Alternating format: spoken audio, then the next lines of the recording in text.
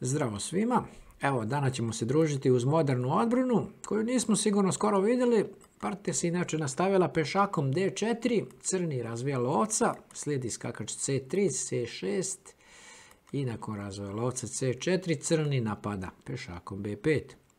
Beli se povlači lovcem, biva napadnuti pešakom skakač, tako da je u partiji prvo igrano dama F3. Šta je bio cilj ovog poteza? Naravno, pretnja matom, dama F7 bi bio mat, zato je u našoj partiji crni prvo razvio skakača, zaštitio se od ovog mata i nakon toga omogućio svom protivniku povlačenje skakačem na E2. To je bila prilika i za malu rokadu crnoga, da bi se partija nastavila pritiskom pešakom E5. Skakač se povlači na polje E8, beli kreće i pešakom po H liniji, slijedi D5, slijedi H5 i nakon tog poteza F6. Ovdje je došlo do razmene. Pešak uzima pešaka, pešak uzima pešaka, dolazak dame, nova pretnja, novi mat, dama H7, zato crni se brani skakačem F6, štiti se od mata i ujedno vrši kontranapad na damu. Beli povlači svoju damu na H4, izbjegava ovaj napad i partija se nastavlja gubitkom pešaka D4.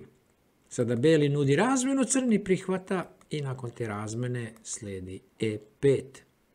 Dolazi do razvoja skakača F3, dame E7 i tu smo već u zanimljivom momentu igre.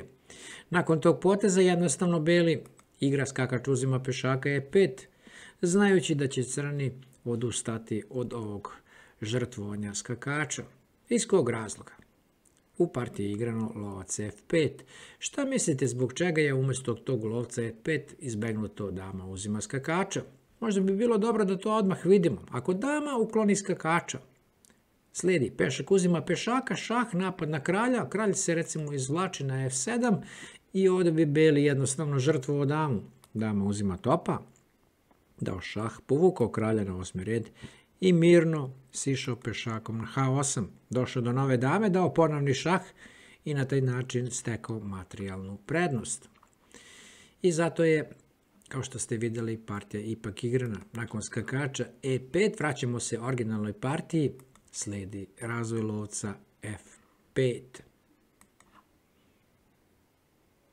Nakon toga slijedi potrška pešakom. Brani se skakač, da bi se partija nastavila razvojem drugog skakača od strane crnoga i jednostavno beli uklanja pešaka C6 vršići napad na damu. To je bio važan moment igre. Iz kog razloga? Jer je bilo važno kuda ići sa crnom damom i crni pravi prvu najveću ili veliku grešku igrajući damom E3. Najbolji potez po crnoga bio je ipak dama G7, da se ponudi razmena dama i na taj način pokuša da se olakša situacija na tabli. Ali umjesto tog poteza igrano je dama E3 i naravno omogućeno protivniku da krene u napad. Beli igra zato lovac uzima D5, daje šah i to je ujedno bio i posljednji potez ove naše partije, jer je crni predao partiju. Očigledno da nakon ovog šaha nema se kud, osim da se žrtvuju figure.